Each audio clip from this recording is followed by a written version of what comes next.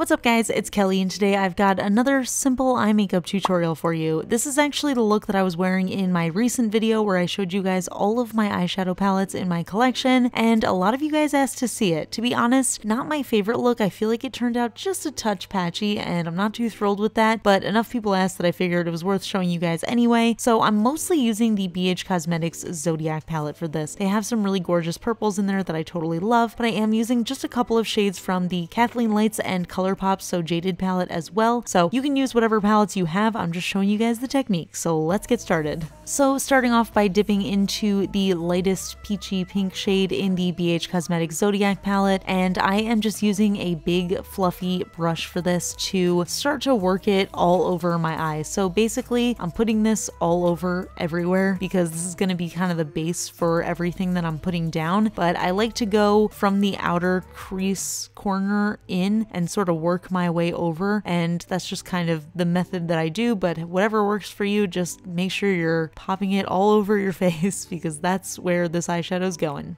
Then I'm going in with this cooler toned light purple shade and again just starting in the outer corner slash crease area and kind of just working that onto the outer half of my lid and then also into my crease. And honestly the purples that are in this palette are really the best purples that I have ever used pretty much for eyeshadow. I think these are really pigmented, they work really well. They're a little sheer when you first put them on but I feel like they build up so easily and they're just so bright. I don't know, I just I feel like I always end up going back to this palette whenever it comes to purple eye makeup looks, and I just can't really find any other purples that work as well for me. So this one is a huge win for me. I'll always go back to my BH Cosmetics Zodiac palette. So once I've got that laid out where I want it to be on my eyelid, I am going to go back in with that peachy pink color and I'm just going to kind of blend it out. I always like to go back to the previous brushes slash colors that I used just to kind of blend everything out. I feel like it just makes everything a little bit more smooth and it makes it more of a seamless transition. And I'm just taking that same color on a different different brush just so I can pop that on the lower lid there. So now I'm just taking this color Amethyst and this is the So Jaded palette and I really love this color. I feel like it really pops on my eyes. The only problem with it is I felt like it ended up being a little bit patchy. That's why I'm not too thrilled with how this look turned out. I guess I should have layered on a little bit more. The stuff that we're putting on right now, it's gonna end up just kind of wiping off when we blend it away. So I am gonna pack on more of it, but I just feel like I didn't do enough and I think that would have have worked out a little bit better if I had. So again, just kind of blending that out with the purple shade that we just used before. And we are just going to blend out any harsh lines and just soften the whole look up. I feel like that's the whole name of the game is just blending everything out until it's nice and smooth.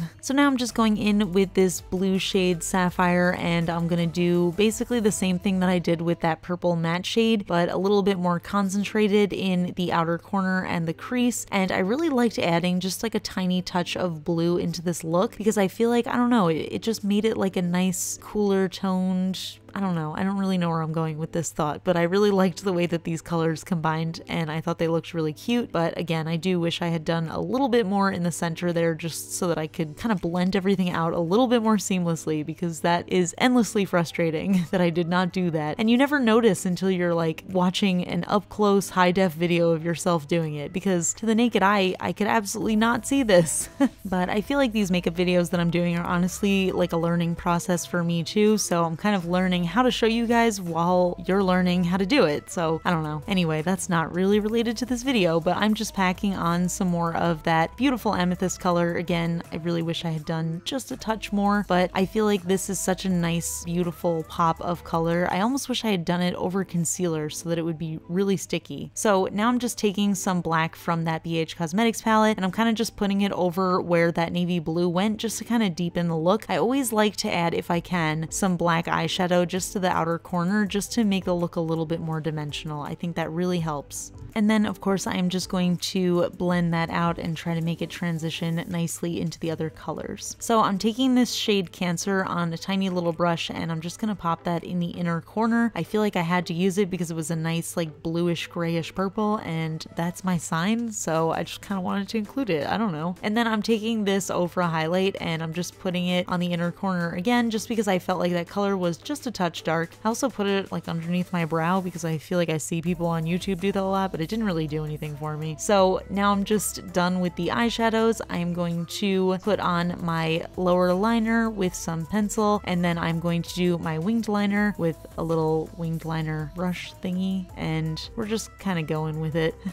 this is pretty much the end of the look. I just like to add my mascara and then I go in with some nice big false lashes because I don't know, I feel like most of the time that completes the look for me. But I do want to stress that you don't have to wear either the winged liner or the false lashes in any of the tutorials that I show you. That's pretty much just how I finish a look, but all of the looks that I have worn pretty much in my life, I have also done without winged liner or lashes because generally day to day, unless I'm like going out somewhere nice, I feel like I don't wear winged liner or lashes. I just do the eyeshadow and then I do the mascara and that's kind of like the full look for me. But anyway, this is the whole look. I hope you guys like it. Again, I feel like I'm just not thrilled with how the center of the lid turned out, but I hope that you managed to enjoy it anyway and maybe it can inspire you to do some nice bright purples on your lids or maybe just a tiny little pop of purple if you feel like it. But yeah, that's it. I'll see you guys later. Bye.